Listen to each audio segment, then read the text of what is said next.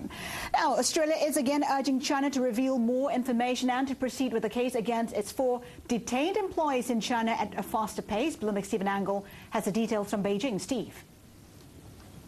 Yeah, as Linda, Australian Foreign Minister Stephen Smith, say, uh, speaking in Thailand, says they have no choice but to treat this case as a matter of Chinese law. That being said, he again met with his Chinese counterparts at the APEC meetings in Phuket and pressed for more expediency in the case. Now, iron ore business heads are meeting this week in Beijing. Uh, they are looking as well for more information.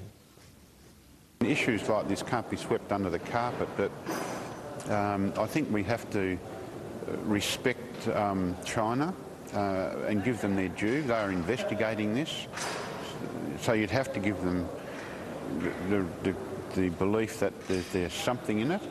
Although I would say that I respect Rio a lot, um, I, they certainly wouldn't condone any malpractices.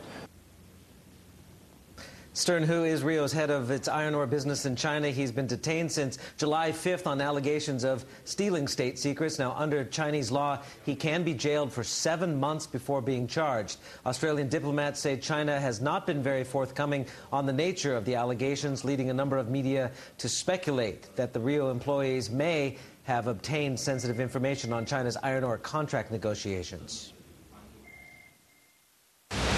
I don't believe that the uh, the trade between uh, Australia and particularly Western Australia and China has ever been under threat.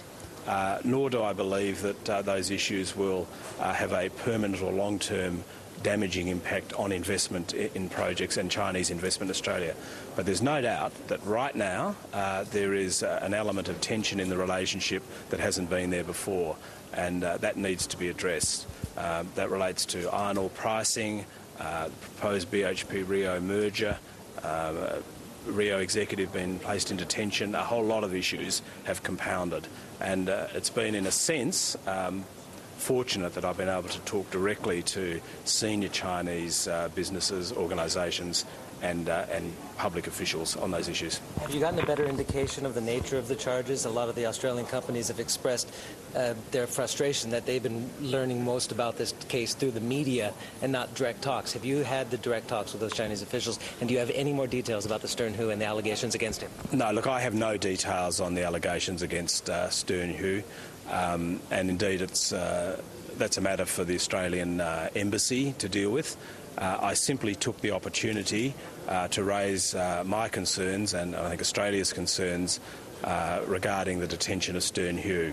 Uh, I did that with the Mayor of Shanghai as a, as a very senior figure uh, in, in China.